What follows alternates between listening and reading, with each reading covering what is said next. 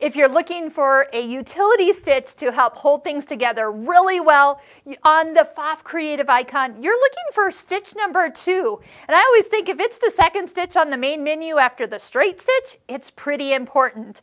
This is a stretch triple straight stitch. And there's also stitch number eight is the stretch triple zigzag. And I'm going to show you both. But before I do, I want to show you that I not only use it to reinforce things, I sometimes use it decoratively. Now on our Pfaff Stitching Cosmos online course, I wanted to show you that this stitch right along here, now this is one of our bias uh, stitched techniques along our curved blocks, is I used orange thread to kind of give it a little extra uh, dimension, a around that particular curve.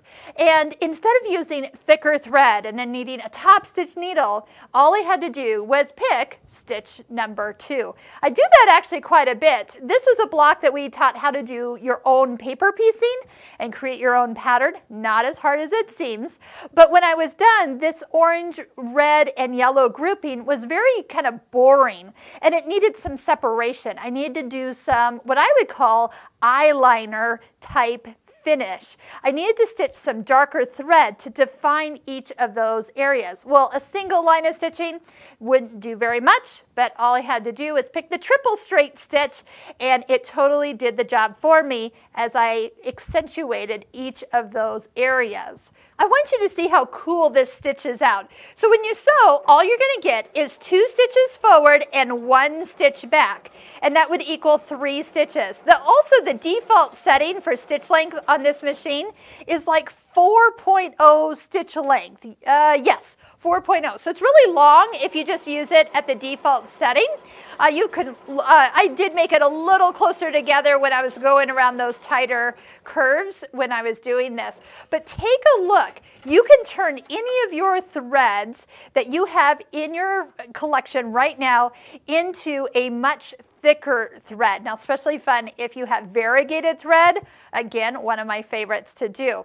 But I also want to show you one other thing, and it's going to involve doing the zigzag. That was stitch number eight. So I'm going to just sew the zigzag out. Um, it's fairly wide, but you can make it wider, and you can make it longer. So I'm going to go ahead and increase the stitch length a ways, and then also maybe make it a little wider as well.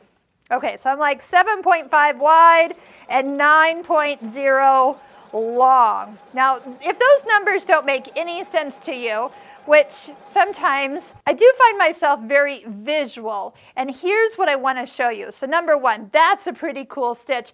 Uh, the little extra stitch you see here is just because I changed the length um, when I was in the middle of a probably a back stroke. So you do have to kind of watch for that. But look how amazingly bold that stitch is.